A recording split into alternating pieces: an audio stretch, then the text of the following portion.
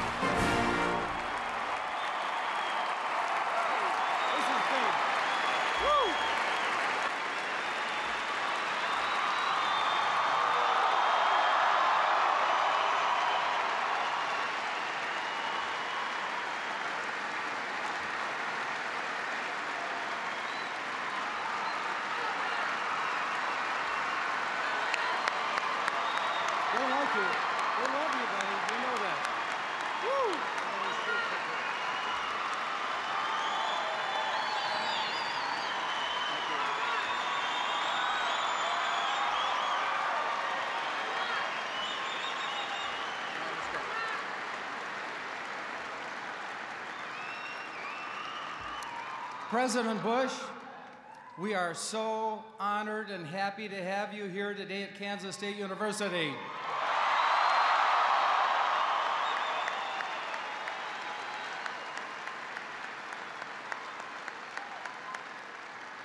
My name is Jon Wefald. I'm president of K State, and the first order of business is to give him our football jersey.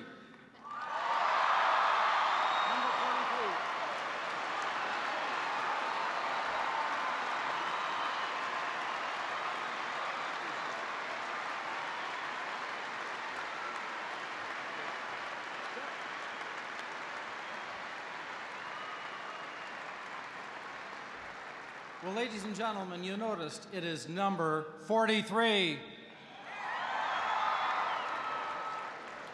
Well, Mr. President, we are so thrilled to have you at K State today. I also want to thank General Dennis Hardy of Fort Riley for coming here today with 800 troops from Fort Riley. They just are back from Iraq.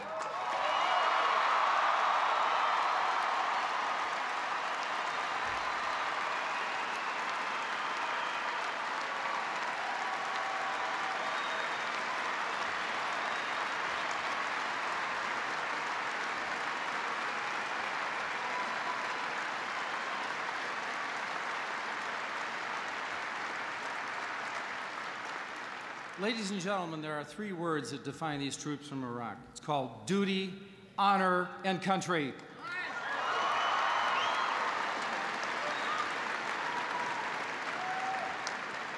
I also want to thank General Warner from Fort Leavenworth and General Petard from Fort Riley. Let's give them a big hand.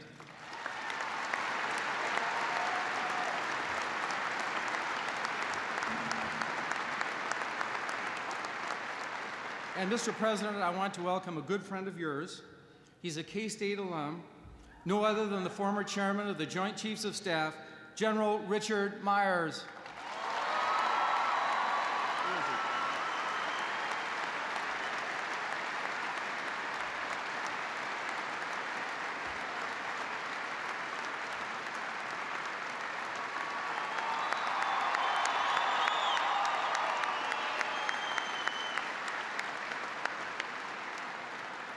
Should say to all of our faculty and students here today that starting today, he is going to be the foundation professor of military history and leadership right here at K State.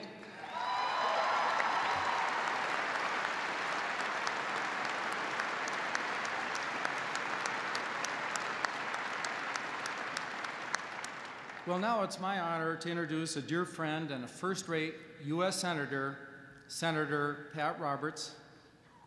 He is a K Stater. He has dedicated his life to public service, 16 years in the House of Representatives, and now 12 years as a U.S. Senator. Pat Roberts is the chair of the U.S. Senate Intelligence Committee.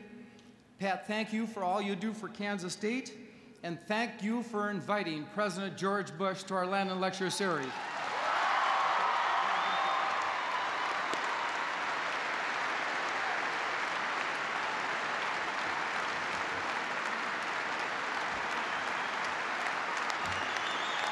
Thank you.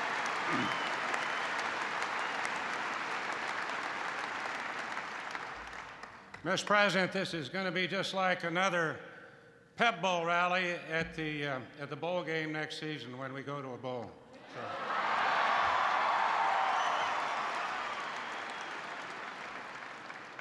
President Wefald, honored guests all, men and women of the Big Red One, welcome home.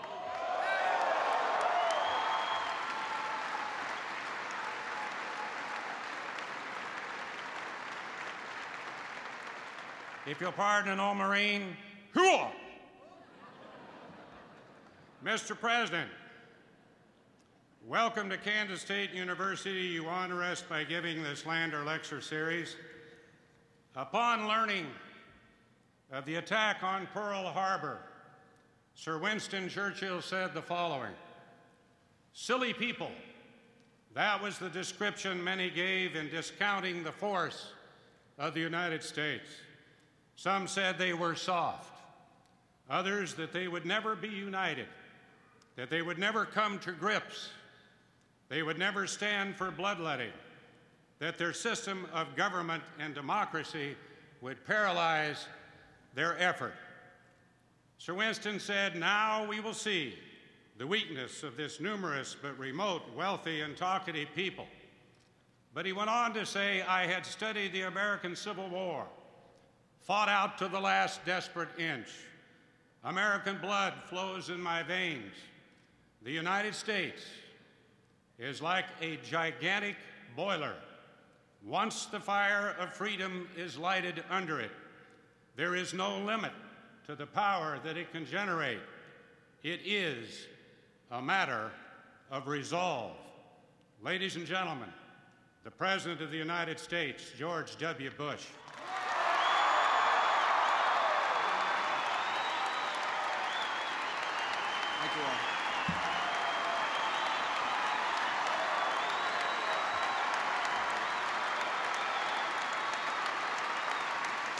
Thank you all. Please be seated.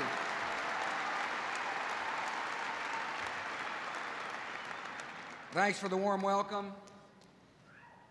Thanks for inviting me here to give the uh, Landon lecture. For those students who are here, I want you to know I can remember what it was like to sit through lectures. I didn't particularly like it then. So I'm going to take a little different approach. I'm here to tell you how I see the world and how I've made some of the decisions I've made and why I made them. Before I get there, I want to thank the introducer. So he's on Air Force One. He said, That's a cute looking blue tie you have. but I strongly suggest, Mr. President,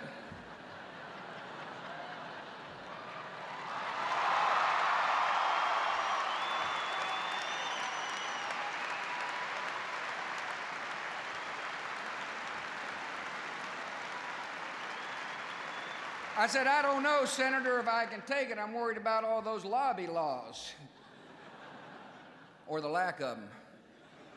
He said, Fine, I'll just loan it to you. I said, Well, now that you're helping me dress, you got any hints on how I ought to do my hair?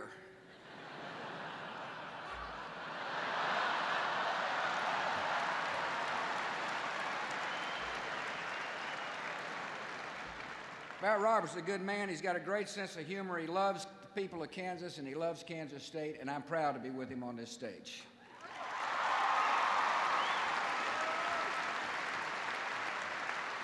And I'm proud to be here as well with the other United States Senator, Senator Sam Brownback.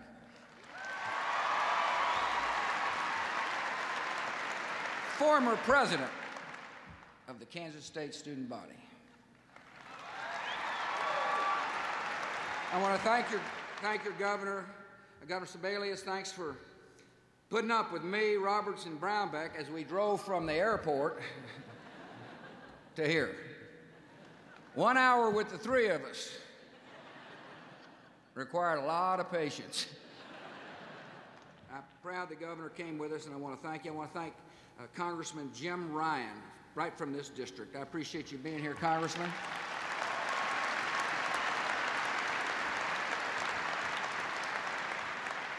I'm not interested in jogging with you. I also thank Congressman Dennis Moore and Congressman Jerry Moran, both fine members of the United States Congress from the state of Kansas. Thank you all for coming.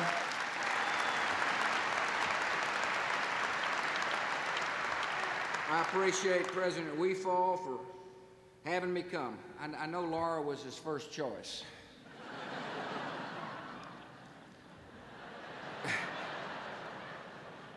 That's why he's the head of such a fine institution. He's got good judgment.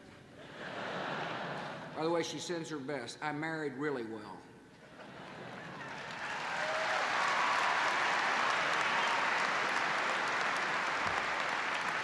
And I want to thank Charles Reagan and Edward Seaton.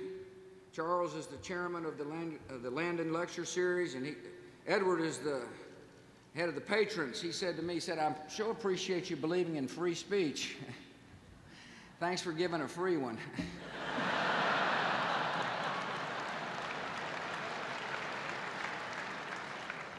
I want to thank Tom Harold as the Faculty Senate President. I want to thank all the faculty members who are here. Thanks for teaching.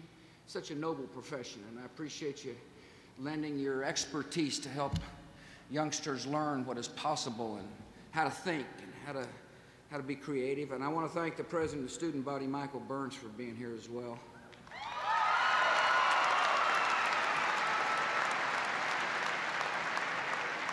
I appreciate the students being here. I particularly want to thank those who've uh, come from the Last Chance Bar.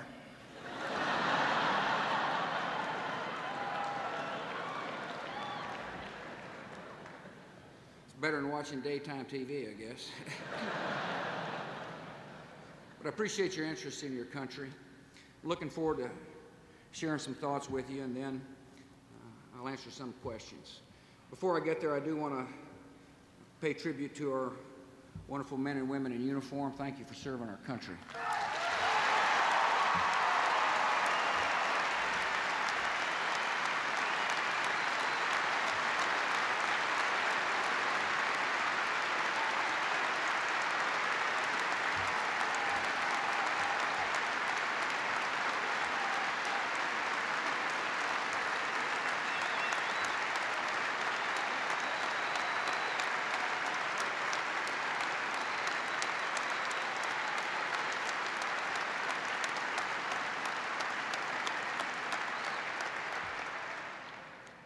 Really one of the interesting things about uh, being the president is to invite my guys, buddies I grew up with from Texas to the, to the White House. It's really neat to see uh, how they react to the majesty of the White House and the Oval Office and the South Lawns and just the beauty of, of Washington. And most of them, after they get over the initial shock of seeing the White House, or then come through the shock of wondering how the heck I got there. You know? but they oftentimes ask me, they say, you know, what's it like being the President of the United States? And my answer to them is first, it's a huge honor. But secondly, if I had to give you a job description, it would be a decision maker. I make a lot of decisions. I make some that you see that obviously affect uh, people's lives, not only here but around the world. I make a lot of small ones you never see but have got consequence. Decision maker is the job description. First of all, when you make decisions, you, you got to stand on principle. If you're going to make decisions, you got to know what you believe. I guess the best way to summarize me is I came from Texas and I'm going back to Texas with the exact same values I had when I arrived in Washington, D.C.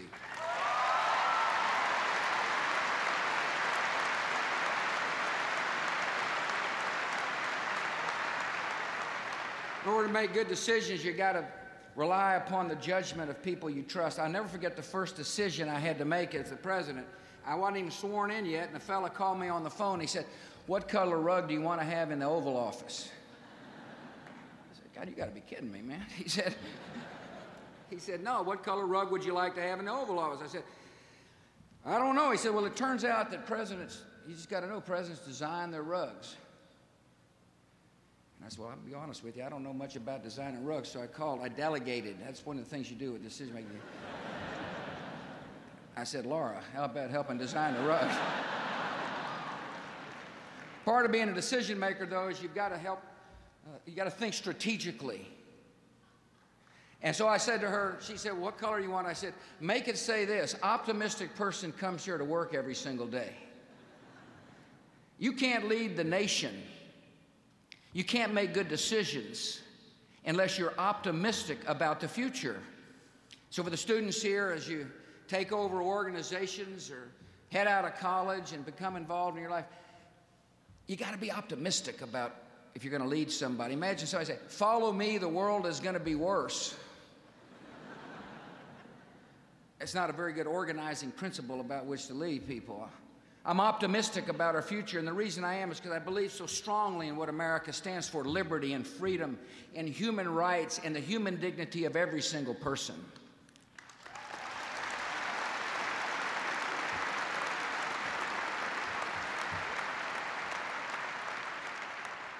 Sometimes decisions come to your desk unexpectedly. Part of the job of a president is to, is to be able to plan for the worst and hope for the best.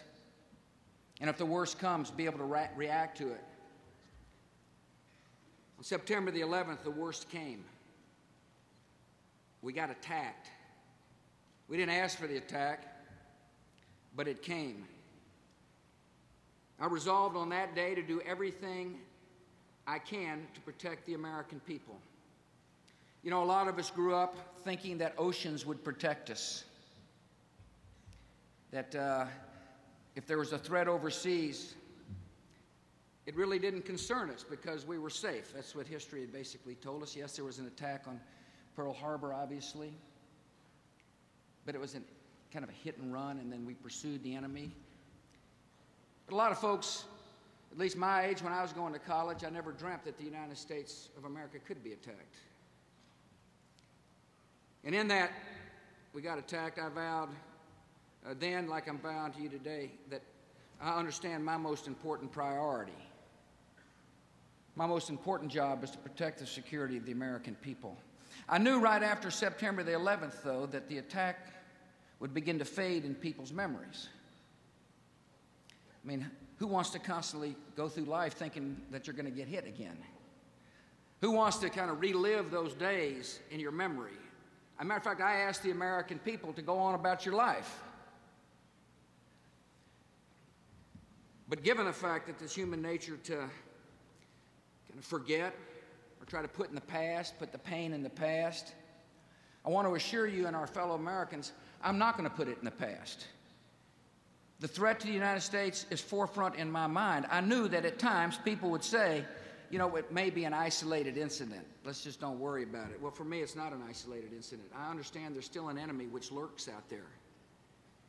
And so, part of my decision making process, part of as you see I begin to make decisions to protect you, to do my number one priority, rests upon this fact that there is an enemy which is relentless and desirous to bring harm to the American people because of what we believe in. See, we're in an ideological struggle. It's very important for the students here to understand that there is an enemy which has an ideology, and they're driven by an ideology. They make decisions based upon their view of the world, which is the exact opposite of our view of the world. Perhaps the best way to describe their political vision is to remind you what life was like for people living in Afghanistan when the Taliban was running that country with Al Qaeda as the parasite. If you were a young girl in that society, you had no chance to get educated. If you spoke out against the view of these uh, folks, their religious view, you could be taken to the public square and whipped. In other words, there was not freedom. There wasn't freedom to worship the way you wanted, just like we believe here in the United States of America. You can worship, you cannot worship in our country, and you're equally American. You can be a Christian, Jew, or Muslim, and you're equally American. It's the greatness of the United States of America, which.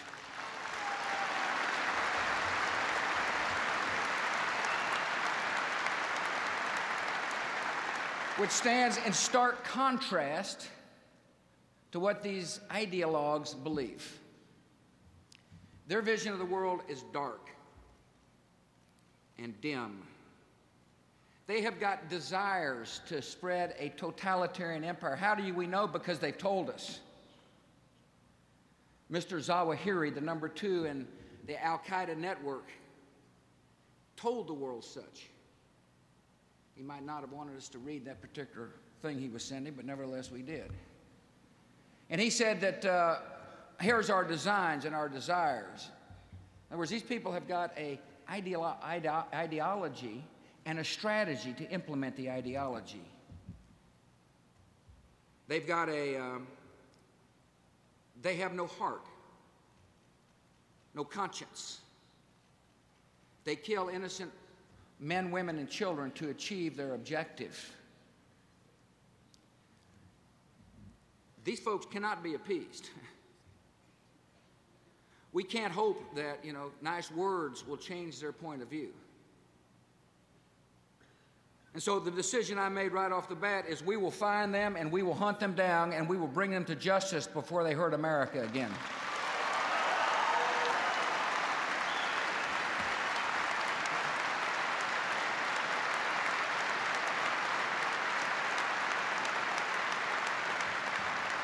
But it requires a different kind of response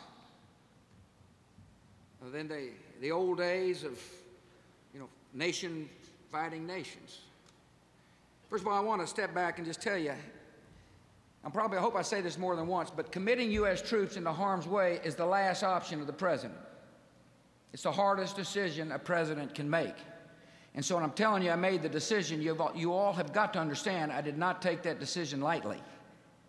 I knew the consequences, but I also believed that the consequences of not acting against this enemy would mean I wasn't doing my job of uh, working with others to protect the United States of America.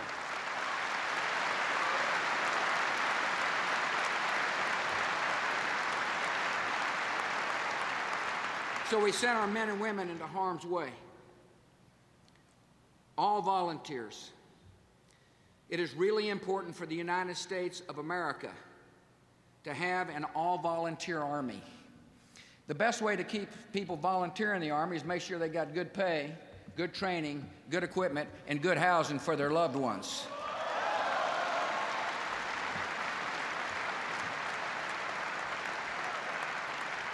But since we're not able to track vast battalions or armadas, we've got to have intelligence, good intelligence, to help us uh, locate the dark corners of the world where these people hide. A lot of uh,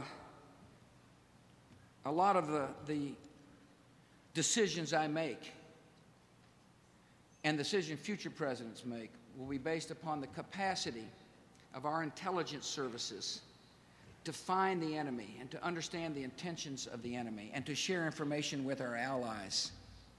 It's a different kind of struggle and requires the best intelligence possible. That's why we're reevaluating, constantly reevaluating how best to use our intelligence services to be able to protect the American people. We've got to be strong in diplomacy.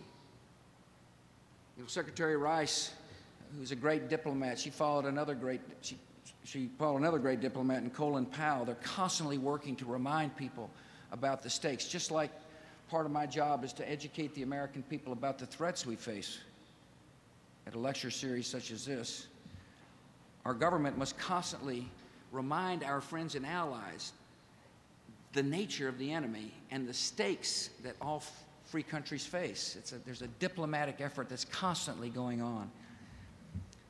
You can't, you can't run your network without money, and so we, we're working with our friends and allies to seize terrorist assets and choke off their funding sources.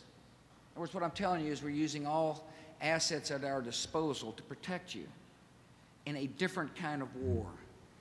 In order to make the right decision about how to win this war, it's important to understand the nature of the enemy and to take the enemy's word seriously and to understand their lethality and not let the kind of lull in the action lull us to sleep. Secondly, uh, right after they attacked us, I laid out a doctrine. And it said if you harbor terrorists, you're equally as guilty as the terrorist. The reason I said that is because I, I understand that a terrorist's network can sometimes burrow in society and can sometimes find safe haven from which to plot and plan. The perfect example of that was Afghanistan. For those of you who didn't pay much attention to the initial stages of this war, it became apparent to the world that Afghanistan became safe haven. You'll hear stories about people that went into Afghanistan to be trained, trained as to how to brutally kill people, trained in uh, different methodologies, trained in how to communicate. So, in other words, the enemy was able to uh, kind of burrow in and they felt safe and confident and secure. And I understood in this different kind of war that we had to make it clear to any country that if they harbored a terrorist, they would be held to account. And when the American president speaks, it's really important for those words to mean something. And so when I said to the Taliban, get rid of Al Qaeda, and they didn't, I made the difficult decision to commit our troops to uphold the doctrine that if you harbor a terrorist, you're equally as guilty as the terrorist. And our kids went in, men and women alike, and liberated a country from the clutches of the barbaric regime, the Taliban. And today, today in Afghanistan, think about what has happened in a brief period of time. Today in Afghanistan, there is a fledgling democracy. Al Qaeda no longer has run of the country. The Taliban is routed. There is an elected parliament and a president dedicated to democratic institutions.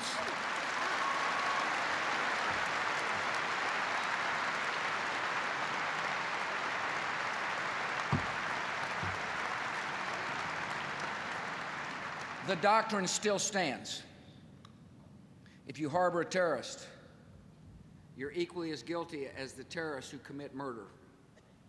Thirdly, and this is very important for the students to understand and others,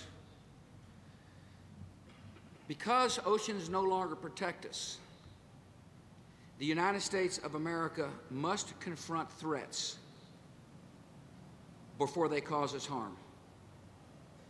In other words, in the old days, we could see a threat and say, well, maybe it'll, maybe it'll cause harm, maybe it won't. Those days changed as far as I'm concerned. Threats must be taken seriously now because geography doesn't protect us and there's an enemy that still lurks. And so, early in my first term, I looked at the world and saw a threat in Saddam Hussein.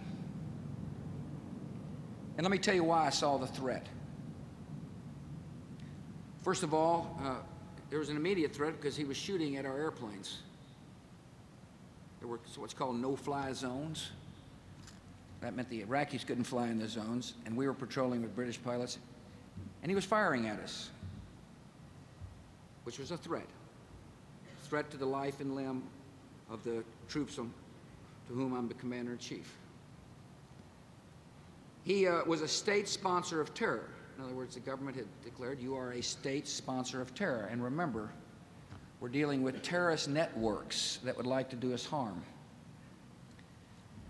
There's a reason why he was declared a state sponsor of terror because he was sponsoring terror. he, uh, he had used weapons of mass destruction. And the biggest threat that this president and future presidents must worry about is weapons of mass destruction getting in the hands of a terrorist network that would like to do us harm. That is the biggest threat we face. The airplanes were horrible. The attacks of aircraft were horrible. Those, the, the damage done could be multiplied if weapons of mass destruction were in the hands of these people. The world thought Saddam Hussein had weapons of mass destruction. It wasn't just me or my administration. My predecessor thought he had weapons of mass destruction. And there's a logical reason why. The data showed that he would likely have weapons of mass destruction, and he'd used them. I told you the last option for a president is to send troops into combat. And I was hoping that we could solve the issue, the threat, the threat to the United States, by diplomatic means. So I went to the United Nations. Secretary Powell carried our message to the United Nations. He said, to United, I actually gave a speech to the United Nations, you might remember. And I said to him, Basically, how many resolutions is it going to take before this threat will take us seriously? I mean, we'd passed, I don't know, what, 14, 15 different resolutions.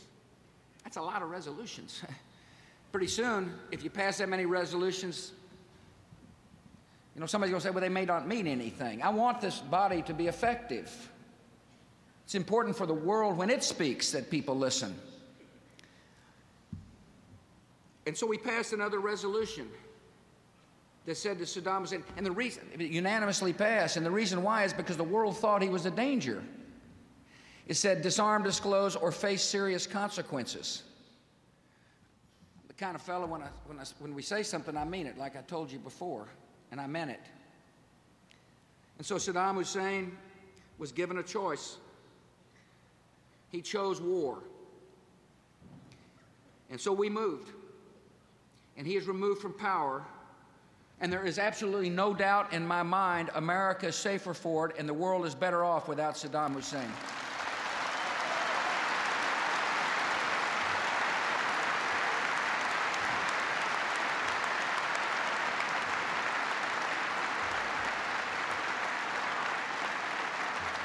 A lot of people, a lot of people, I understand, disagreed with that decision, and that's, that's, that's, that's what democracy is all about. That's what we believe in. We believe you can disagree.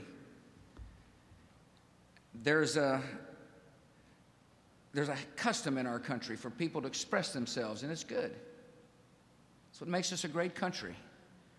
That people can stand up and tell people what's on their mind. And we're going to keep it that way. It's very important for those who didn't agree with the decision, though, to understand the consequences of, of success in Iraq. It's really important we succeed for a lot of reasons. And so definition of success, by the way, is for there to be a country where the terrorists and Saddamists can no longer threaten the democracy. And where Iraqi security forces can provide for the security of their own people and where Iraq is not a safe haven from which the terrorists, Al Qaeda and its affiliates, can plot attacks against America. We've got a strategy, and I'm going to keep talking about the strategy. It'll, it'll, it'll, it'll yield to victories.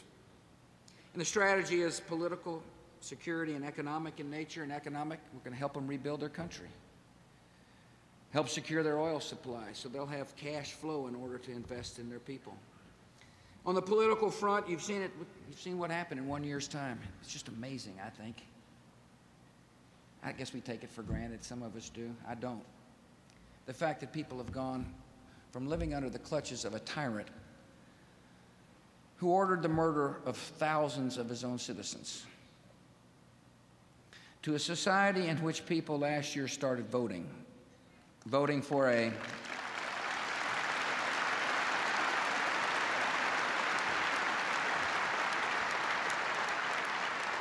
voting for an interim government, voting for a constitution, and then voting for a permanent government under the new constitution. The government is now, they're beginning to form. You know, they're, they're kind of, you're seeing a lot of sharp elbows. It's probably kind of like American politics seem to some people. A lot of throwing of sharp elbows. You didn't see a lot of elbows, political elbows being thrown under the tyrant, did you? That's because tyrants don't allow for uh, the political process to evolve. But we're watching the political process evolve, made complicated by the fact that the terrorists still want to cause destruction and death as this government's forming to try to stop it. We've got to step back and ask why? Why, why would they want to stop democracy?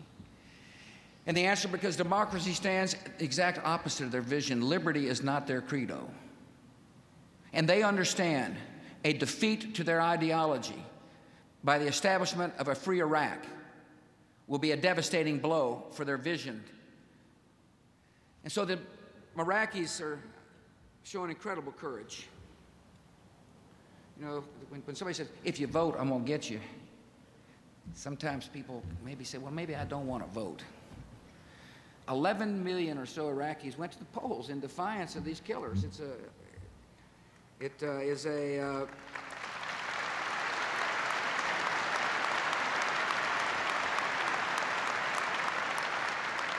It's a magical moment in the history of liberty. And then on the security front, our strategy can be summed up this way as the um, Iraqis stand up, we'll stand down. Look, we want the Iraqis to be prepared to take the fight to the enemy. Let me talk about the enemy real quick in Iraq. There are what we call rejectionists these are uh, Sunnis that kind of liked the fact that they, even though a minority inside the country had the upper hand for a long period of time with Saddam. And they're worried about whether or not a constitution that says it'll protect minority rights actually will protect minority rights. But the good news is more and more Sunnis started to vote. And if you watch, your, watch the news, they're beginning to negotiate. They're beginning to see a, uh, a better way. In other words, the political process is beginning to marginalize the remaining elements of, of those who are trying to stop the progress. One of those elements is Saddamists. These were the, you know, the, the thugs that kind of controlled the country. They, they loved power. They don't want to give it up. And they like to return to the good old days, which isn't going to happen. And the other group, of course, is the Al Qaeda types, Mr. Zarqawi, who wants us to leave Iraq. They want us to get out of Iraq so Iraq can be a safe haven. It is their stated objective. Don't worry. Take your time. Keep killing the innocent because America will lose its will. That's what the enemy has said. That's their words. The way to defeat the enemy is for the political process to marginalize the rejectionists and for us to train the Iraqi forces so they can find the few that want to dash the hopes of the many. And that's what we're doing. Our strategy is twofold we're on the hunt for the terrorists, and we're training Iraqis. And we're making decent progress. There are more and more Iraqi units in the fight. There's more and more country being turned over to the Iraqis. We got a lot of bases around Iraq, and more of those bases are being given to the Iraqi troops. This is the year that we'll not only continue to focus on the troops, we'll continue to train Iraqi police. We've seen some problems about what it means to have lived in a society where people want to seek revenge. In other words, they use their police status as a police person to, to take it out on others because of past grievances. That's not acceptable to the United States of America, and it's not acceptable to most Iraqis either. And so part of the training for police is not only to give them the capacity to handle the enemy, but to make sure they understand human rights and ethics involved with police work. And so that's what you'll be seeing. You're going to see more Iraqi troops in the fight and more police providing security. And as a result, our commanders on the ground inform me that they thought we could reduce our troop level from the 168,000 that were there, 165 more or less that were there for the elections, below 138,000. Now, I want to emphasize something to you. You heard me say our commanders on the ground said. You see, sometimes in the political process, people, you know, feel beholden to polls and focus groups. You don't have to worry about me. I'm going to be listening to the people who know what they're talking about, and that's the commanders on the ground in Iraq.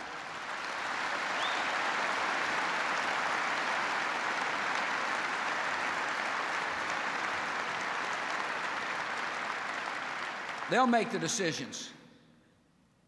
They will give the advice. Conditions on the ground will dictate our force levels over the next year. But the strategy is what I said it is. We'll stay on the offense, and we'll give these brave Iraqis the skills and training necessary to defend their own democracy. Look, look, this enemy cannot beat us. They cannot defeat us militarily. There's no chance. The one weapon they have, which is a lethal weapon, is the willingness to kill people. I remember the story, it just broke my heart to think about the young soldier that was giving candy to a kid and they set off the car bomb next to the kids. I mean, it's just, I, I cannot describe to you how brutal these people are. And, and they understand that uh, their scenes will get on TV. It's, it, and I don't know if they can adequately understand the compassion of the American people, but we're compassionate. I told you one of the great beliefs of our country is every life matters. Every person counts, whether it be a child here in America or a child in Iraq, and they understand. And so part of my decision making process is to understand the strength of the enemy. The only strength they have and continue to remind the people that is their only strength. And the only way we can lose is if we lose our nerve and our will. The American people are resolute, they are strong, and we're not going to lose our will to these thugs and murderers.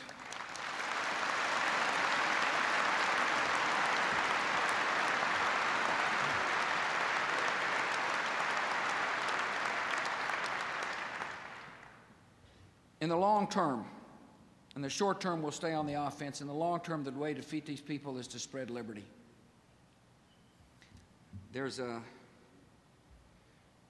as you study history, I want you to watch the effects of, of freedom around the world. I, I, one of my favorite ways to describe my belief in the capacity of freedom to help achieve peace not only security for the American people, but peace. Is to give people the example of my dad and me in terms of Japan. My dad was an 18 year old kid and went to fight the Japanese. I, I promise you, a lot of folks here's relatives did the same thing. They were called into action because the enemy had attacked us. They were the sworn enemy of the United States of America. It was a brutal war against the Japanese. It took a lot of lives, Japanese lives and American lives, to win that war. And today, like my recent trip to the Far East, I sit down with Prime Minister Koizumi, who's the Japanese Prime Minister, and talk about the peace. Now think about that. I, I particularly want the students to think about what took place when 18-year-old President 41 was fighting the Japanese and 59-year-old 43, that would be me, is is talking to the prime minister of the former enemy about peace. And you know what took place? A Japanese style democracy came to be. History has shown that democracies yield to peace. Europe is free, whole, and at peace because the nations are democratic. It wasn't always the case obviously, in the 1900s. Two major wars were fought where a lot of Americans died, and yet systems and forms of government changed. And now Europe is completely different in terms of security and peace. The Far East, I just mentioned the Japanese example. And that's what the enemy understands. And that's why they're so brutal and relentless.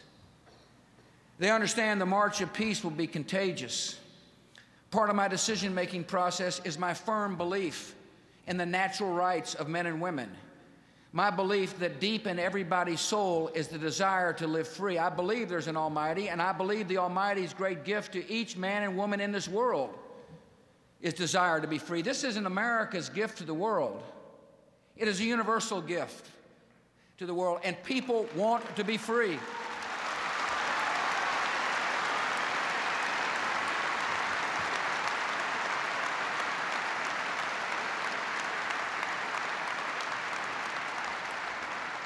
And if you believe that, and if you believe freedom yields to peace, it's important for the United States of America with friends to lead the cause of liberty. I'm not saying to any country you must have a democracy that looks like America. I am saying free your people. Understand that liberty is universal and help lay that foundation of peace for generations to come. Someday, an American president will be sitting down with elected leaders from a country like Iraq talking about how to keep the peace. This generation is rising to the challenge. We're looking at history. We understand our values, and we're laying that foundation of peace for generations to come.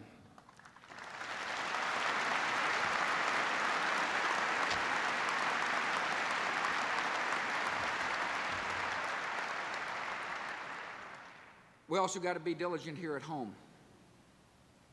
I'm getting ready to answer some questions. Laura said, whatever you do, don't get too windy. We've created the Department of Homeland Security.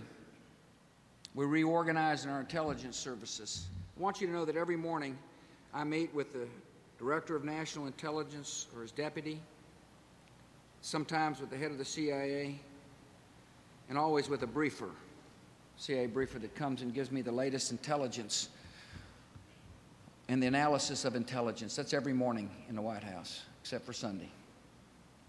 And uh, the reason I do is because um, I told you early that my job is not to be complacent.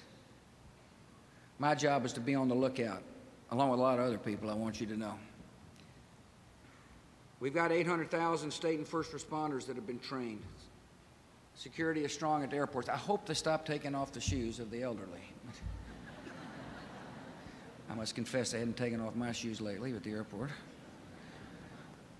We're doing a lot of stuff, but I want to talk about two tools necessary to protect you. First, before September the 11th, our law enforcement and intelligence services weren't able to share information.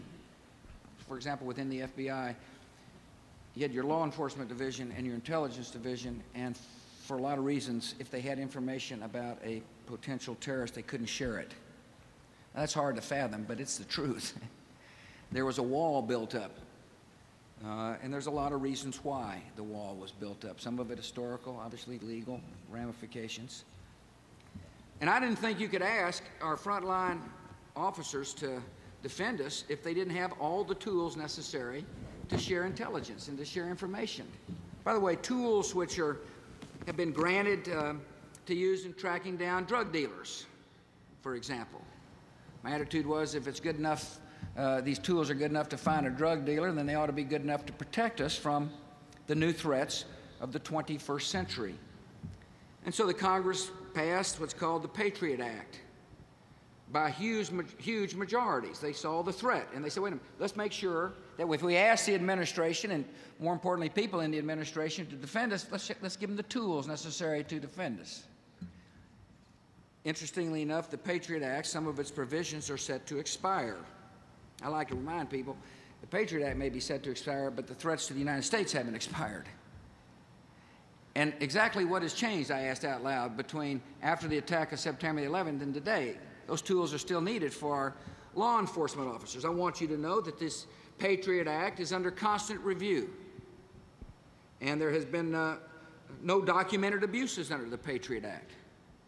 In other words, Congress, in its wisdom, when it passed the act, said, we'll make sure that the civil liberties of the United States are protected as we give the tools to those who are asked to take the fight to the enemy, to protect us. Congress extended this Patriot Act to February the 3rd. That's not good enough for the American people, it seems like to me.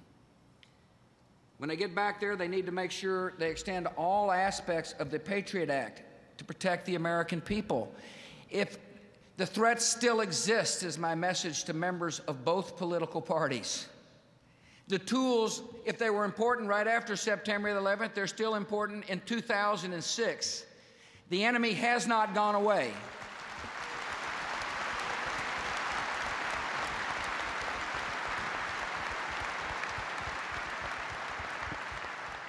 Let me talk about one other program, and then I promise to answer questions something that you've been reading about in the news lately. It's what I would call a terrorist surveillance program. After the enemy attacked us and after I realized that we were not protected by oceans, I asked people that works for you, work for me, how best can we use information to protect the American people? You might remember there was hijackers here that had made calls outside the country somebody else uh, prior to the September the 11th attacks. And I said, uh, uh, is there anything more we can do within the law, within the Constitution to protect the American people? And they came back with a program, designed program, that I want to describe to you. And I want people here to clearly understand why I made the decision I made. First, I made the decision to do the following things because there's an enemy that still wants to harm the American people. What I'm talking about is the intercept of certain uh, communications emanating uh, bet between somebody inside the United States and outside the United States. And one of the numbers would be a um, reasonably suspected to be an Al Qaeda link or affiliate. In other words, we have ways to determine uh, whether or not someone can be an Al Qaeda affiliate or Al Qaeda. And if they're making a phone call in the United States, it seems like to me we want to know why. This is, uh, I repeat to you that you know you hear words domestic spying. No, these are not phone calls within the United States. It's a phone call of a Al Qaeda, known Al Qaeda suspect, making a phone call into the United States. I, um, I'm mindful of your civil liberties, and so I had all kinds of lawyers review the process. We briefed members of the United States Congress, one of whom was Senator Pat Roberts, about this program. You know, it's amazing when people say to me, well, he was just breaking the law. If I wanted to break the law, why was I briefing Congress?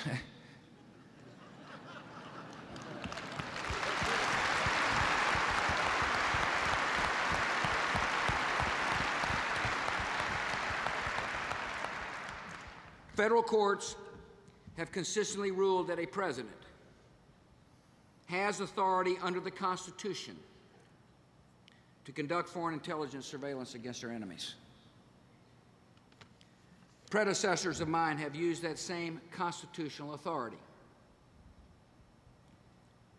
Recently, there was a Supreme Court case called the Hamdi case. It ruled the authorization for the use of military force passed by the Congress in 2001. Congress passed this, this piece of legislation. And the court ruled, the Supreme Court ruled, it, it gave the president additional authority to use what it called the fundamental incidents of waging war against Al Qaeda. I'm not a lawyer, but I can tell you what it means. It means Congress gave me the authority to use necessary force to protect the American people, but it didn't prescribe the tactics. So, Mr. President, you've got the you know, power to protect us, but we're not going to tell you how. And one of the ways to protect the American people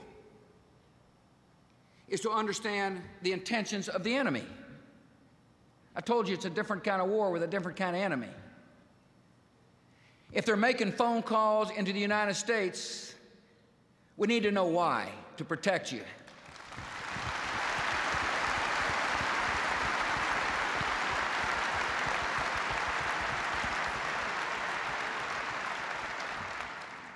And that's the world in which you live. I view it as a chance for an historic opportunity to, to make this place better for your children and your grandchildren, this place to be in the world. I, I'm just confident that if we don't lose our will and stay strong, and that as liberty advances, people may look back at this lecture and other speeches by people who have professed the same devotion to freedom that I've had and say, you know, maybe they're just right. Maybe America that was founded on natural rights of men and women is the ticket for peace. Maybe that kind of view that every person matters, that there are such things as human dignity and the basic freedoms that we feel, that, that become a huge catalyst for change for the better. These troops are defending you with all their might, but at the same time, they're beginning to help change that world by spreading liberty and freedom. It's uh, such an honor to be the president of the great country that we are during such historic times, and I want to thank you for giving me a chance to describe to you some of the decision making processes I've used to do my duty to defend the American people. God bless.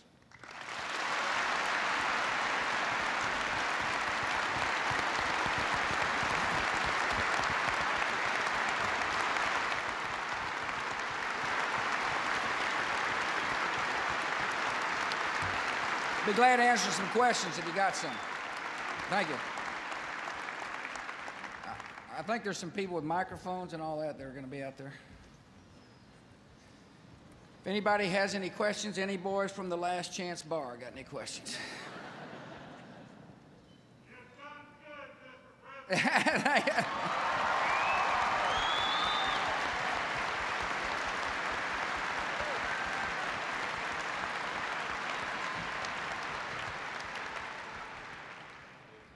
President. Thank you. Yeah. Mr. yes, President, yes, ma'am. I'm Jan Lyons, um, immediate past president of the National Cattlemen's Beef Association. And we salute what you have done, your aggressive stance on terrorism. But more than that, as you know, Kansas is a beef state. The number one industry in the state of Kansas is beef production and beef processing. A strong beef industry indicates a strong Kansas, and it affects all of us. Yeah. We sincerely appreciate your efforts in regaining our markets with Japan, your aggressive stance on trade. We support that tremendously. I wondered if you would just comment Yeah, well, thanks. on, on what's happened Th- recently. Thank you for your leadership. We think we grow pretty good beef in Texas too, but um, now's not the time to compare, of course. Look, here's the thing there's an interesting debate in the United States about markets, about whether or not we should aggressively seek markets or whether or not we should become protectionist. Protectionism means tariffs and policies that make it difficult for people to trade in the United States and for people in the United States to trade outside the United States. I'm a big believer in opening markets. There's a practical reason why. One is that five, we're 5% of the people, and there's, uh, which means, in the world, it means 95% of the people uh, are potential customers for U.S. farmers and ranchers and small businesses and entrepreneurs. And so, what, you, what the Madam President, former President, is referring to is that I have been very aggressive about opening up markets through trade agreements. It, uh, I'm a little concerned about trade agreements, though, because the, it's more and more difficult to get them passed out of the United States Congress. It seems like they're becoming so political that people either are becoming protectionist or lose sight are losing sight of the value about opening markets. Look, if you're a cattle raiser in, in, in Kansas, you want to be able to sell your product uh, in Japan or South Korea or China. I mean, there's people want the beef, and the problem we've recently had, as, as Jan mentioned, ref, reflects what is necessary to make sure that trade works, and that is, if there are a problem, like in this case, a some beef coming out of uh, Brooklyn, I think it was, and if the Japanese balk at opening their markets, we have got to be aggressive about explaining to people why our beef is safe. And so part of being, uh, part of making sure that the ranchers in this case see the benefits of open markets is when a market gets open, to work hard to make sure that market stays open if there happens to be a, you know, a, a, a problem or short-term problem. Secondly, uh, is to make sure that uh, we're treated fairly.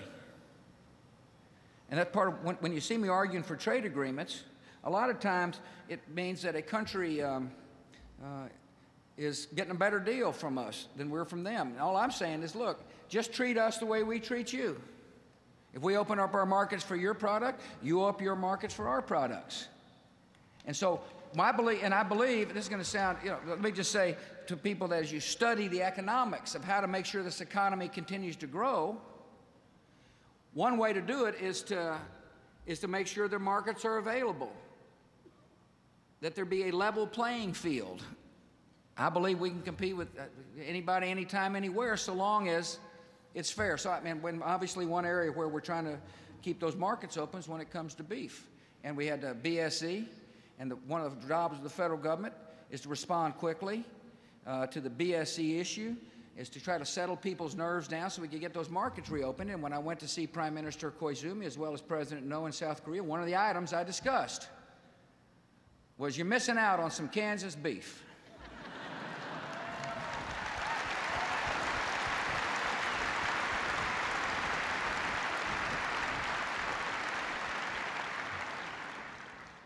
Mr. President. Uh, one of the things that both of our Senate uh, delegation has worked tirelessly on is the situation in the Sudan. Uh, Sudan is, of course, slated to be the chair of the African Union next year, uh, which is a, a, they have tried, much like the United Nations, to do something. Uh, does the United States have a larger role to play in, in the Sudan and the entire sub-Saharan African region? Yes, great question. We have played an active. First of all, I do want to thank uh, both senators. You know, it's, I'm on treacherous ground here to kind of credit one versus the other, but, but I guess I will, since since one of them's going to want a free meal going back to Washington. Uh, I guess both. Uh, Uh, Sam, I mean, uh, Roberts is great on the issue, and, and, and Sam is the person I've been interfacing with the most, frankly, in the whole United States Senate about his deep concern for life in the Sudan. As a matter of fact, in the vehicle driving over here, he brought the issue up. Um, we have got an important role to play and have played it. Uh, I don't know if you remember the Danforth Commission, where Jack Danforth, the former senator from Missouri, uh, was my envoy to the Sudan to help resolve the north south conflict. And there was a peace agreement in place. And the peace agreement was set back, unfortunately, because, uh, uh, well, it's still intact, don't get me wrong, but it was the, the, the implementation was delayed somewhat because of John Garang's untimely uh, death. He was the leader of the South of Sudan. So the important thing there is that we, we showed through diplomacy that it's possible to resolve differences and to to begin to reduce the apparent issue of slavery. As you now know, the issue in Sudan is, and by the way, one of the great strengths of this country is their faith based programs that rose up in indignation about the slavery that was taking place in the Sudan. Much of the first wave of help that went into the Sudan, some of it was government, most of it was the response of the private sector, particularly the uh, religious communities. The issue now is Darfur. And uh, when Colin was still the Secretary of State, he, declared the policy of the U.S. And, and our deep concern that we are headed toward genocide. I think we're the only nation that has uttered those words thus far in the Darfur. The strategy, and it's a very complex situation, it would take yet another lecture to give you all the kind of ins and outs, but suffice it to say that we're deeply concerned about poor folks who've been run out of their villages into refugee camps, who are still being threatened by uh, a Janjaweed militia and, uh, and some, re some rebellious groups that uh, are trying to extract political gain through marauding and death and rape and destruction.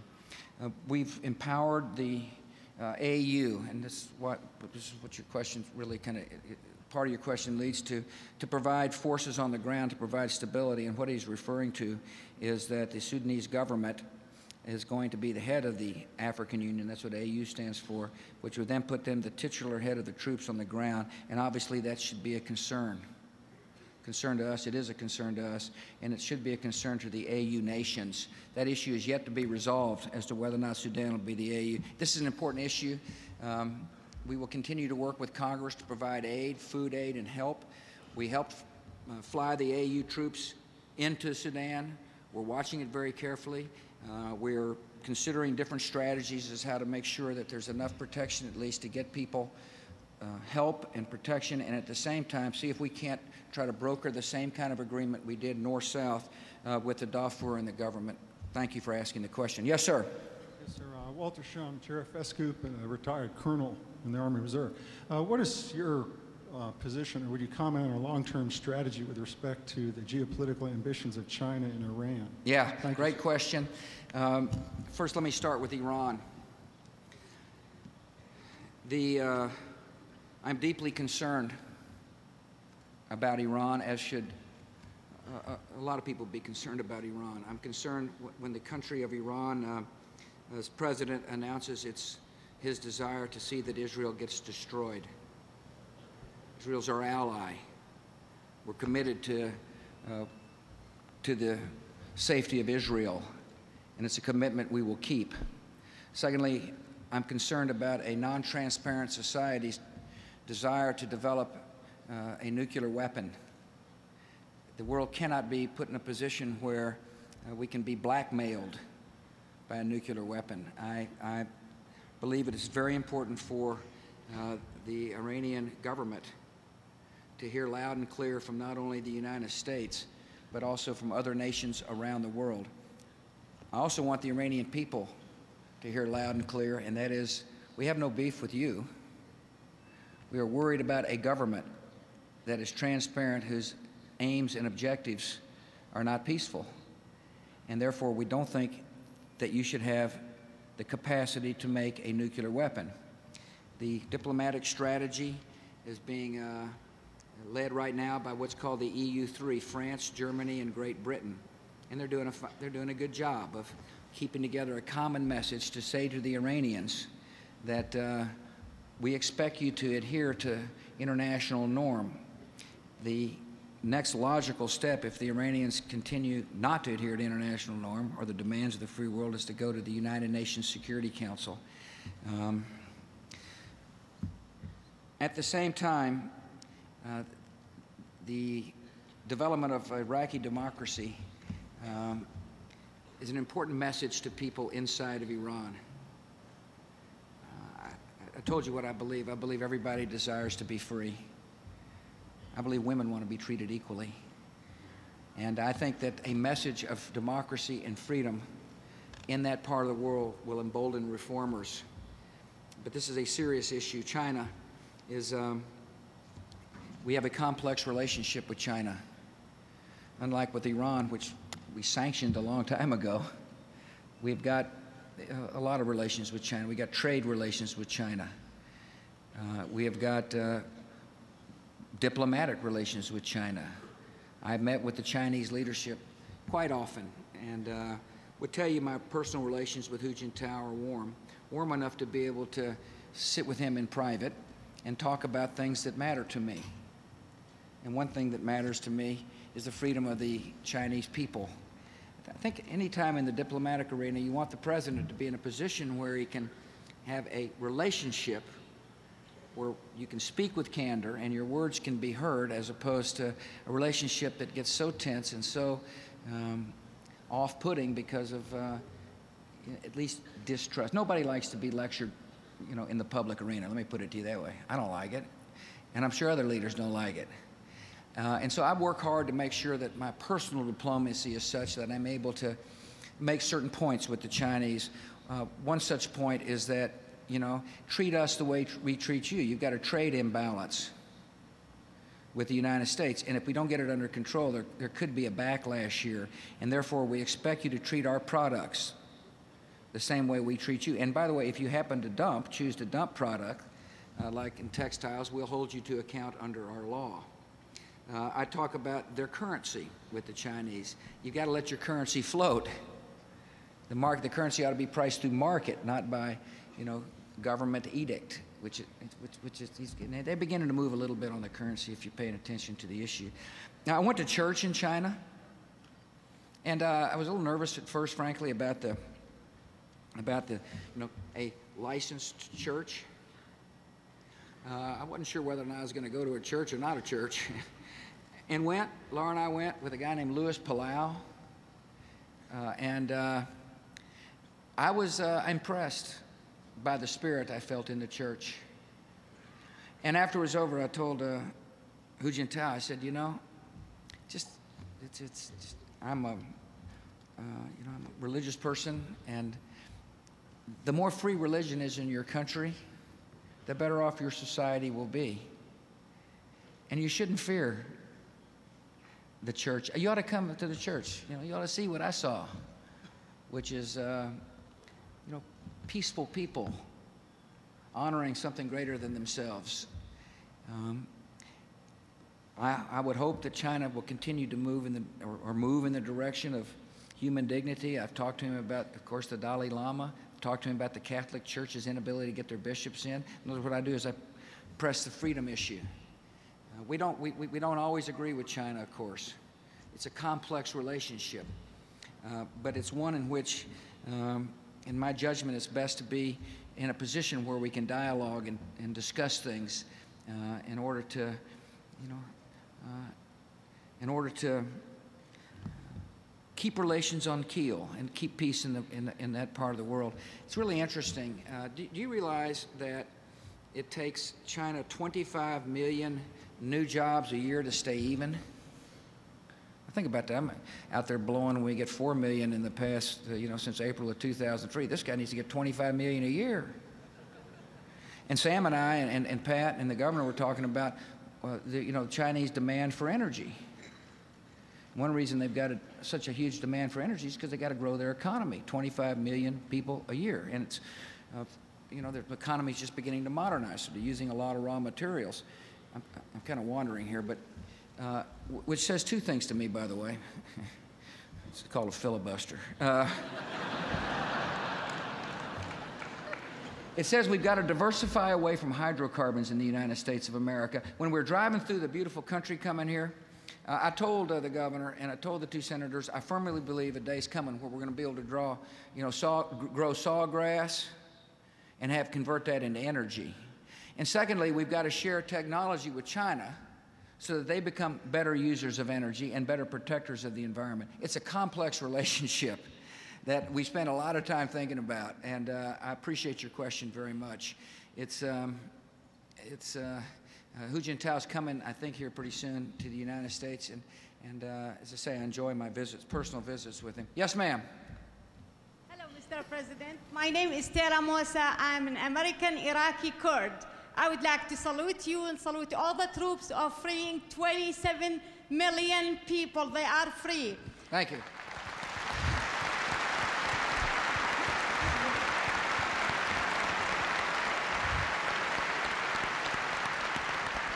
Mr. President, I would like to share these thoughts with all our nation and everybody who is questioning what happened to the chemical weapons. Saddam burned 4,500 villages. I lost more than 10 members of my family underground. We found their bones after when we freed Iraq. Saddam himself and his people, his followers, they are chemical weapons. Please stop questioning the administration and their decision. It was the best decision anybody could take. Freeing 27 million people. Okay. This is a question and answer period. Mr. President. I hate to cut you off. Oh, you're on a roll, but what's the question? Mr. President, all I could tell you, I have two members of my family. They are in the Iraqi parliament, and both of them are women. My sister-in-law and my aunt, they are in the Iraqi parliament, and I would like you to share this happiness with me and with all the Iraqi people. Thank you, Mr. President. Thank you.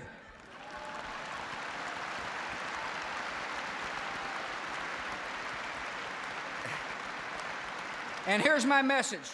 Here's my message to your relatives in the Iraqi parliament.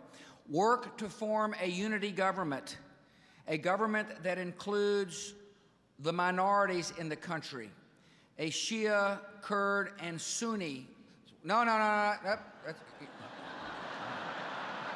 no, no, no. Thank you. No. Up.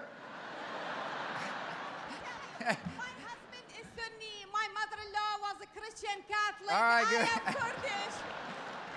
Thank you. Got a question?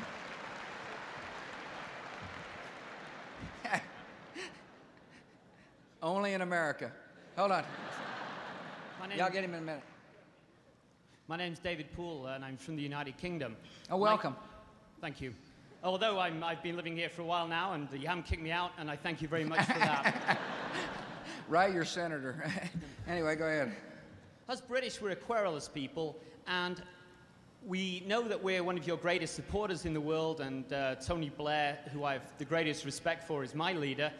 Um, when you say jump, he says how high. At least that's the perception of many of the British Yeah. people. And when he agrees and does your bidding, then it weakens him on the home front at home.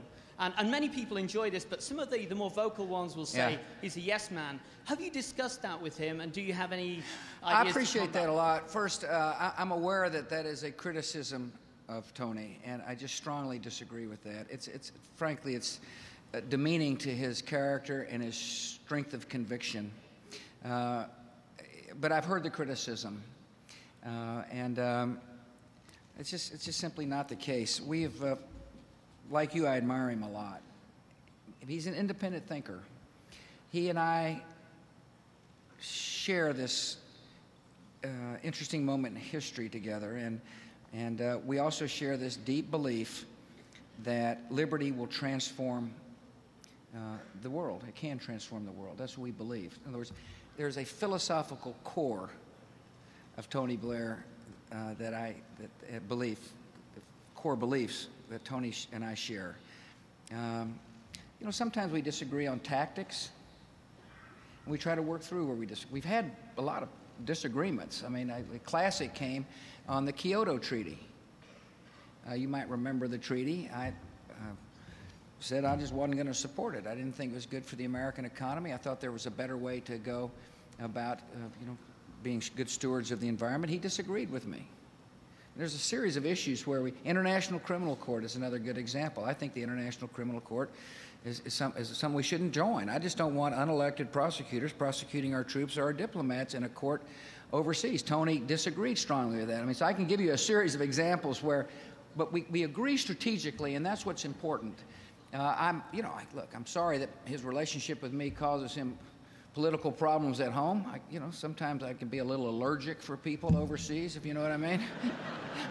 but, but I will. I think I would classify our relationship as historic.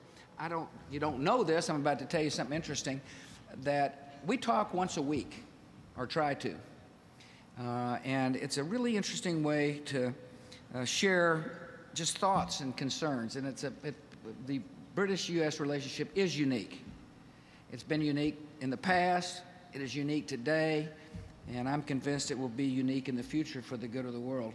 But uh, no, I'm very aware of the political difficulties he's faced. By the way, when you make hard decisions, like Tony has made, and frankly I've made, it creates, you know, angst. I mean, it, it's the easy route would have been to do nothing and just hope for the best, and that's why I admire Tony. Tony's a, uh, a person of um, great courage. I can remember, I'll tell you an anecdote.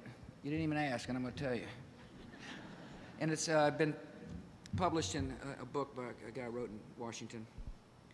Tony was very worried about uh, his government. You might remember when there were the, uh, the second resolution, we had the first resolution, then there was an argument about what serious consequences meant. I guess was, that's what the problem was.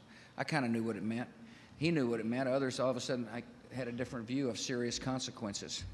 When Saddam chose to uh, not deal squarely with the world and not deal with the inspectors, and he was worried about his government, and so was I. And I told him one time, I said, if you're worried about your government, I said, don't want your government to fall, and if you're worried about it, just go ahead and pull out of the coalition so you can save your government.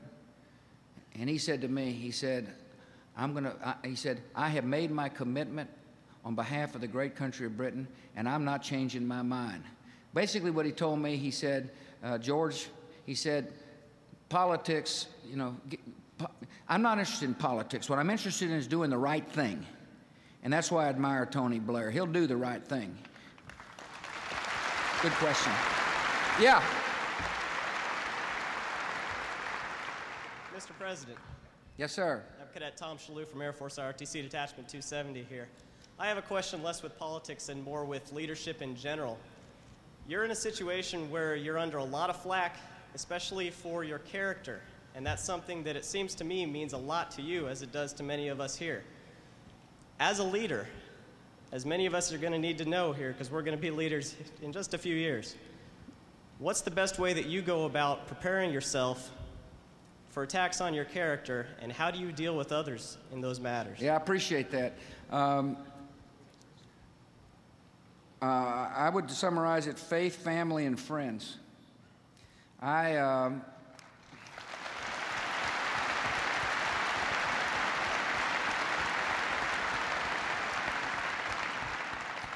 I am uh, sustained mightily by the fact that uh, millions of citizens for whom I'll never get to thank personally pray for me. That's uh, it, it's it's it's it's it's hard for me to describe why I feel that way, why I'm so sustained. I guess it's just called faith, and uh, I'm sustained by my family. And uh, you know, it, there's nothing better than going home to somebody who. Um, understands and is sympathetic and, you know, is, is part of the, we're working together. I mean, Laura's job is just as important as mine in many ways. Um, uh, the girls still love me, and I really love them. And then there's my man Barney, a little Scottish Terrier. I, I say this, and Laura will be furious at me. She says, you know, it's the son I never had, you know. Um, I, uh, I believe in what I'm doing. And I understand politics, and it can get rough. I read a lot of history, by the way. And uh, Abraham Lincoln had it rough. I'm not comparing myself to Abraham Lincoln, nor should you think just because I mentioned his name in the context of my presidency. I, I would never do that. He was a great president. But boy, they mistreated him. Uh, he did what he was, thought was right. A lot of politicians, a lot of presidents have gone through some tough times in the presidency, and I understand that. One of my biggest disappointments is the tone in Washington, D.C. I've done my best to try to elevate the tone. I, I, I just, the, the, needless name calling to me is beneath the dignity of the office of the president. Uh, I'm. Um,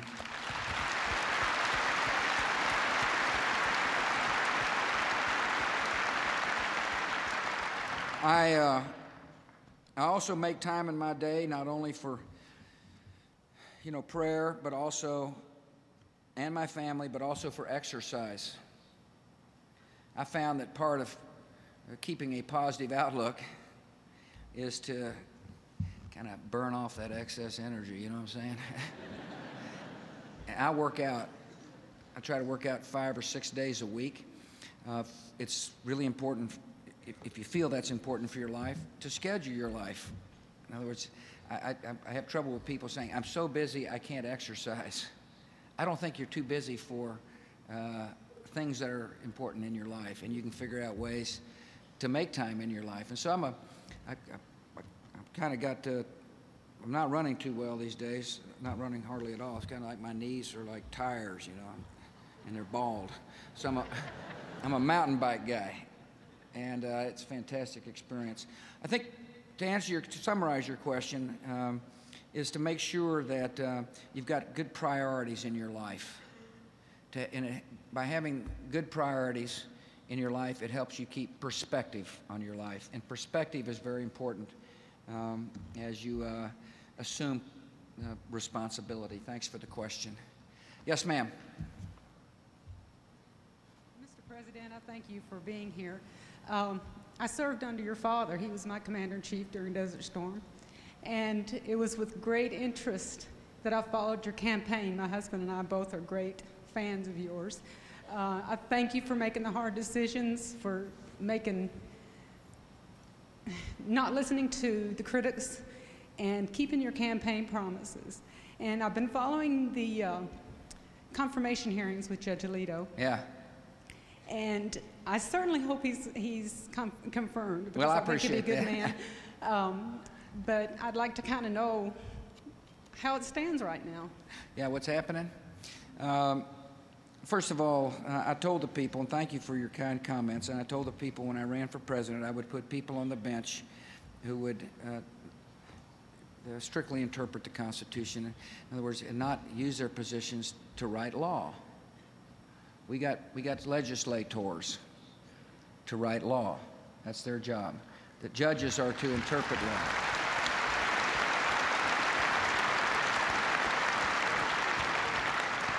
And, uh, and Sam has been, you know, one of, the, one of the picks I made for the Supreme Court, Sam Alito. He is a very, very smart, capable man. He is, uh, he, I mean, when you talk to Sam Alito, you think smart judge. He's written a lot of opinions.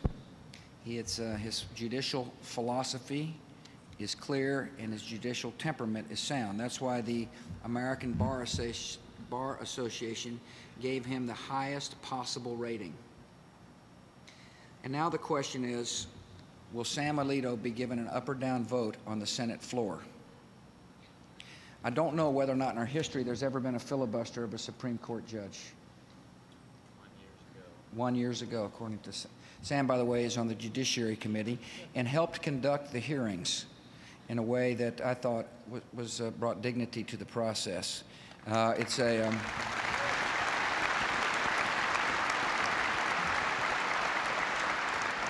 so, to answer your question, I don't know. Uh, there, you, you hear gossip about a filibuster, meaning a minority of, Democrat, of, of senators could stop Alito from getting a vote.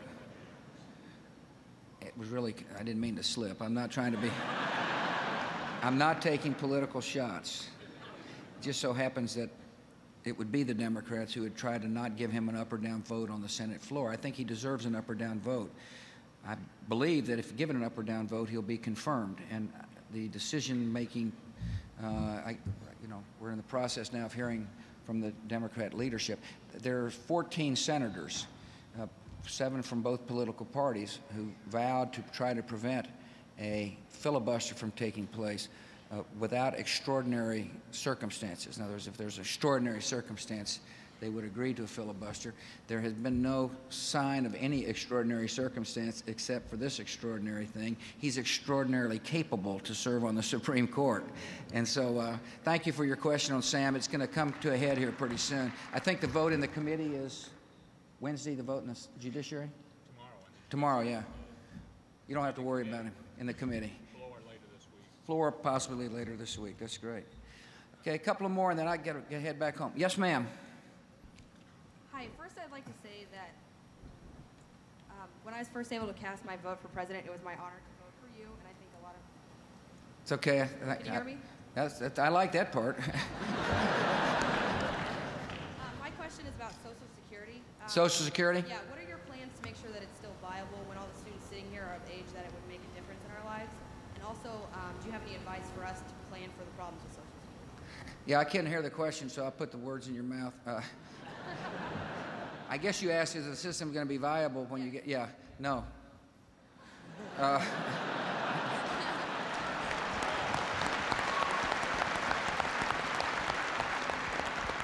I, I, if I were you, I'd pay attention to the issue. There's, uh, and the reason why is because uh, there's a lot of us getting ready to retire.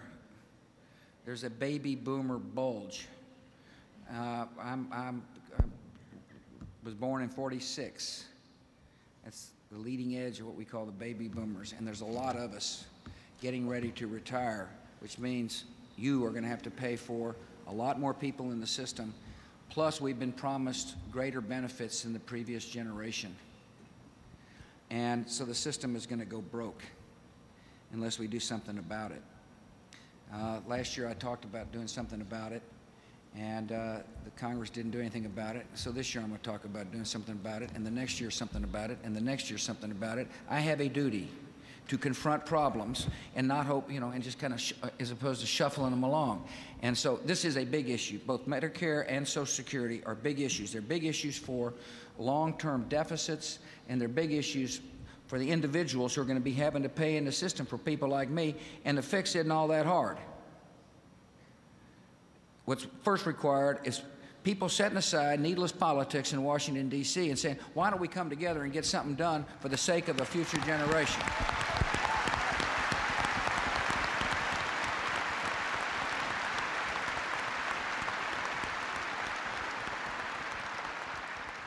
and we can make sure that uh, this generation, uh, the, the up and coming generation, see, nothing changes if you're over 55.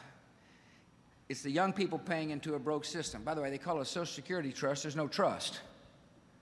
Money is paid and it's spent on other programs, and all that's left in the Social Security is an IOU.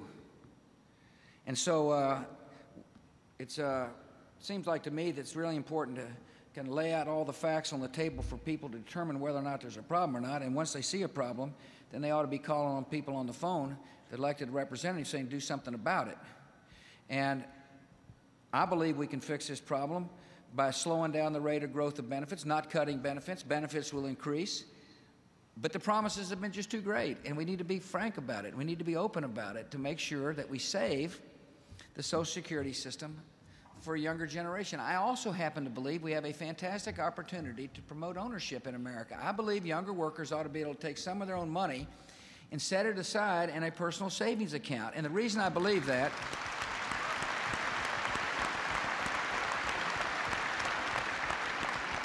And the reason I believe that is I, I think uh, if you own an asset, it's, uh, it helps provide stability in, in American society. I'm concerned that I'm concerned at the low rate of return people get on their money through the Social Security, you know, quote, Social Security trust.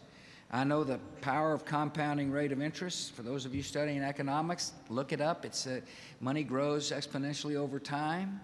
Uh, and if you put your money in just a safe series of instruments, uh, it'll grow. If you start saving at age 20, it, it grows quite dramatically over time. And then that's your nest egg. It's what you call. It's a part of a Social Security benefit system. Again, those of us who retire, and I'm not talking about you, I'm talking about younger workers being given an option. I'm also concerned about uh, people in our society who've never owned anything. You know, I'm worried about, uh, and, and I know that if you own, can you imagine a, a, a, you know, a single mom working and uh, able to put some of the money aside for herself if she wants and watch that grow with just safe investments over time. And when she retires, she's got a nest egg that she calls her own. That government can't spend on another program. A nest egg that she can pass on to her loved one. I mean, ownership and, and the ability to pass wealth from one generation to the next is, a, is an important part of busting the cycle of poverty, for example. And so this is a great opportunity to think differently about this very important program. And uh, um, I appreciate you bringing it up, and thanks for being concerned about it. You need to be. Uh, yes, ma'am. Do what? Yeah, I'll look at it. Thank you. Appreciate it. Is your return address on there so I can write you back? No? Okay. Hi. Yep, my, make sure I get that. Sorry, my name is Tiffany Cooper. I'm a sophomore here at Kansas State. And I was just wanting to get your comments about education. Recently, $12.7 billion was cut from education, and I was just wanting to know how is that supposed to help our futures? Education budget was cut. Say it again. What was cut? $12.7 billion was cut from education, and I was just wanting to know how is that supposed to At help the our federal futures? level? Yes. I don't think that, we don't think we've actually, for, for higher education? Student loans? Yes, student loans. Actually, uh, I think what we did was reform the student loan program. We're not cutting money out of it. In other words, people aren't going to be cut off the program. We're just making sure it, it works better. It's part of the reconciliation package I think she's talking about. Yeah, it's a reform of the program to make sure it functions better. Uh, it is, uh, it is, in other words, we're not taking people off student loans. We're saving money in the student loan program because it's inefficient. And so I think the thing to look at is whether or not there will be fewer people getting student loans. I don't think so. Uh, and secondly, on Pell Grants, we're actually ex- expanding the number of Pell Grants uh, through our budget. But um, great question. I think that uh, the key on education is to make sure that we stay focused on how do we stay competitive into the 21st century. And uh, I plan on doing some talking about math and science and engineering programs so that people who graduate out of college will have the skills necessary to compete in this competitive world. But I, I'm pretty, I think I'm right on this. I'll check when I get back to Washington. But thank you for your question. Yes, ma'am. Um, again, I just wanted to thank you for coming. Um, your speech was very good. Um, I'm a big admirer of your wife. I know that you said that um, your role as a president was as a decision maker, and I would like you to comment, please, on how your wife contributes to your decision making process Yeah, and thanks. how you confide in her. Yeah, Thank she's you. great. Uh, she's, uh, she keeps, she tells me when I'm out of line.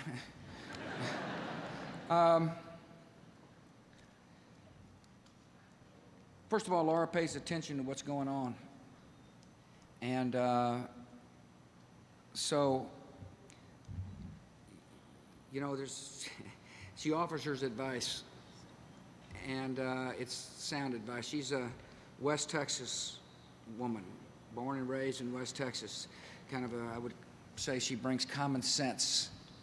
Um, my kind of remind people from here, reminds me of people here from Kansas. Down to earth, no airs, common sense point of view. And, uh, and so I, I appreciate very much uh, when she does give me her uh, advice, which, you know, is, is, uh, can be uh, too frequent sometimes. Not true, honey. Uh, It's like the time she tells a story about the time when I was running for Congress in 1978 in West Texas. And uh, she criticized one of my speeches, and I ran into the garage door. but the best, I guess the best way to describe it is one, I value her judgment, and I, I know it comes from her heart, and I appreciate the perspective she brings. Um, it, it, common sense is just a very important part of being a decision maker. There's uh, there's uh, just something reassuring to me when I get advice from somebody who who uh, who's got, got her got the best interest in mind, got my best interest in mind, as well as just as kind of down to earth uh, read on the situation. And that's how I view my advice from Laura. Plus, she does. I mean, you know, I said some things, wanted dead or alive, and uh, she said, You might be able to explain that, a little, express yourself a little better than that, George W. Uh, and so she said, we got, a, we got a great relationship. You know, when I married her, she really didn't like politics, and uh, particularly didn't, didn't care particularly for politicians either. And here she is, the First Lady of the United States. And uh, she is, um, she's good. Well, I tell you, she's, she's when, when she speaks, she's very credible because she's a decent, credible person. And I love her a lot. Yeah.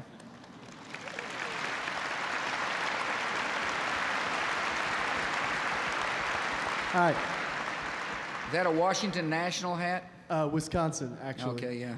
W is for Wisconsin. Uh, you're a rancher. A lot of us here in Kansas are ranchers.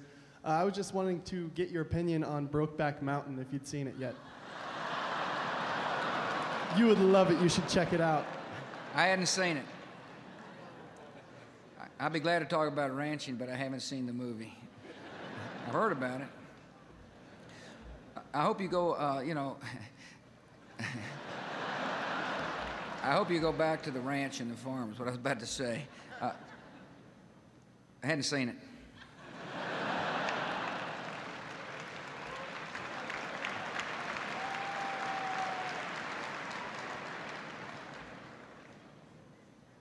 Mr. President, I have a question about uh, the nuclear weapons uh, United States keeping. It's around 3,000 nuclear weapons. So I want to know your opinion when you are going to destroy them. Do what now? When I didn't hear what you you are said. going to I can't hear you very well. I'm sorry. them. I'm not trying to avoid the question. I just didn't get it. Unite, United States has 3,000 nuclear weapons. 3,000 nuclear weapons? Yes. And I want to know your opinion about these weapons of Yeah. mass destruction that when United States is going to destroy No. these nuclear weapons to prevail the peace in the world. Got it. No, I appreciate it. Uh, one of the first things I did as the president was to negotiate a reduction of nuclear, uh, deployable nuclear weapons with Vladimir Putin. Actually, I think we had 6,000 at the time, and we agreed to reduce our nuclear, deployable nuclear arsenals bet- to between 1,700 and 2,200. And we're in the process of doing that now. And, uh, and then, of course, that'll mean a, a, another president can then evaluate where we are. And uh, so we're in the process of honoring what's called the Moscow Treaty. A couple more, and then I got to hop. Yes, ma'am. Mr. President, bienvenido a Kansas. Soy de Venezuela. I know that relationship between United States and Venezuela is not good. Um, that's not my problem. My problem is, oh, the question I have for you is, what are you doing in the borders? You know, we try to secure the United States for terrorism, and also we're trying to secure the border, but as well, some of us who are Hispanics and professionals sometimes are denied the opportunity to work and advance in the workplace because we are minorities. What are you going to do? I represent the Hispanic liaison in Kansas. What are you going to do to provide us a more secure job in which we serve the country, we serve the university? I can't complain in this university. I've been treated like a royalty here. But when you work outside the university as a Hispanic, you don't look good enough because they think You come from Mexico, I come from Venezuela, which is a different country, but all of us are Hispanics, and all of us embrace ourselves in the Americas because America is not just North America, the United States. It's Central and South America. We are one continent and embrace each other. So what are you going to do to provide opportunities for the Hispanics who come to these countries legally, like I did, or who are illegal here? We should help them to get legal here, not provide directly a green card, but help them to become legal Okay. uh, step by step, I like all of us has done. Uh, Thank let- you. Yeah, I got the question. Uh, immigration. um,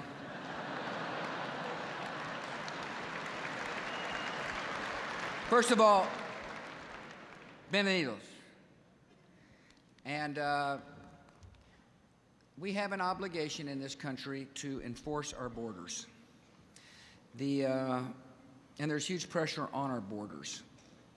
We've got a long border, obviously, with Mexico and a long border with Canada. And the biggest, most problematic area right now is the border with Mexico, California, Arizona, uh, New Mexico, and Texas. It is, uh, the issue is not only Mexican citizens who are coming across the border illegally, but it's other citizens who are coming across the border.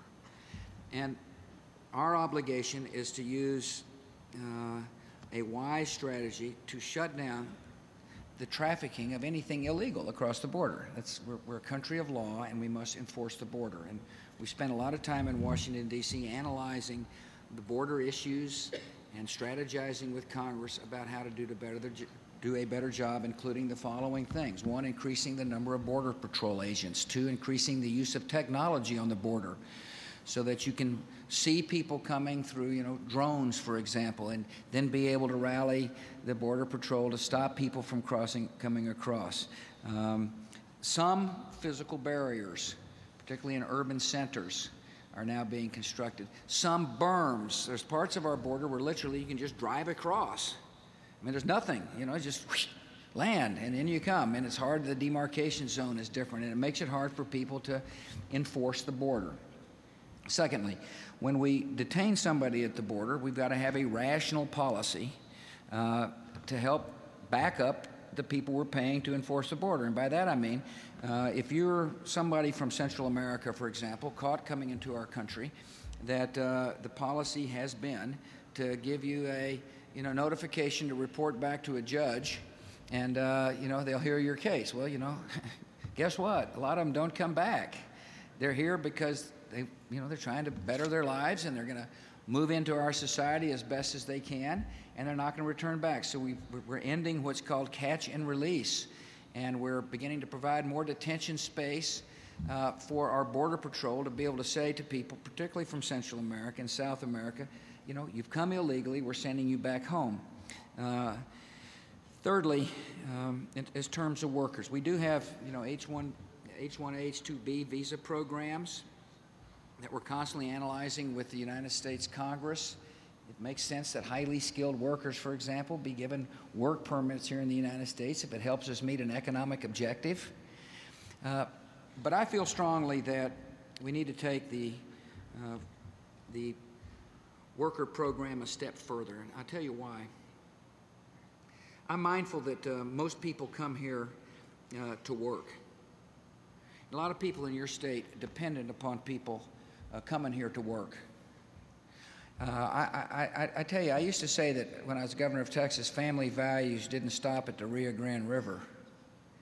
And people, uh, you know, if they could make 50 cents and had mouths to feed, or $5 and had mouths to feed, a lot of people would come to try to find that $5 work. And so here, here's my position, and that is that if there is someone who will do a job an American won't do, then that person ought to be given a temporary worker card to work in the United States for a set period of time. Uh, I do not believe that any guest worker program ought to contain amnesty because I believe that if you granted amnesty to the people here working now, that that would cause another 8 million people or so to come here. I do believe, however, it is humane to say to a person, you're doing a job somebody else won't do. Here is a temporary card to enable you to do the card. The length of the stay here will be dependent upon the actions of the Congress. It's conceivable you could have a three year period with a renewal period. Uh, the, I've thought a lot about this issue. I just want you to know. Um, the, uh, and, and, by the way, when you mention guest worker, people automat- a lot of people automatically spring to amnesty. All I want to do is grant legal status. It's just not the case. It's, I don't believe we ought to do that, but I do believe we ought to recognize there are people doing work others won't do. And there's a lot of good employers here in Kansas employing these people, and the employers don't know whether or not somebody's here legally or not. And because what's happened is a whole kind of uh, industry has sprung up around people coming here. And it's inhumane. It's inhumane for the people being trafficked into the United States. And it's not fair to employers who may be breaking the law. And, and here's what I mean you got people being smuggled into the United States of America by, you know, these uh, criminal networks. They're called coyotes, coyotes. And they're bringing them in the back of uh, you know, 18 wheelers, stuffing human beings to come and do work in America that Americans won't do in the back of 18 wheelers. You've got a f- whole forgery industry up and running, you know, and so these guys show up with documents that, uh, that so the employer, you know, says, well, they look legal to me. I don't know whether they're legal or not legal. I think it is a, and I know that we got a lot of our Border Patrol agents trying to catch people sneaking in the country. And so it seems like to me that why don't we recognize reality, give people worker cards on a temporary basis so somebody can come back and forth legally with a tamper proof card that will enable an employer to know whether or not they're hiring somebody who's illegal. And if we catch employers after that hiring somebody illegal, there's got to be a fine and a consequence. And so, a compassionate way to enforce our border is to is to give people a temporary worker card without granting amnesty. That's a long answer to a very important problem. That is now is the time for the United States to, square, to, to take it on squarely in a humane way that recognizes the situation and deals with it in an upfront way. And uh, I, I want to thank you for your question. Look, I got a dinner tonight. I'd like to be here for a longer period of time, but Laura is serving dinner for retiring Alan Greenspan. And I better not be late. Otherwise, all that advice it will be kind of have a little different tone to it. I've really enjoyed being here. I want to thank you for your courtesy for having me. Uh, thank you for supporting a great university and Kansas State University. Uh, may God bless you all, and may God continue to bless our country. Thank you very much. Thank you.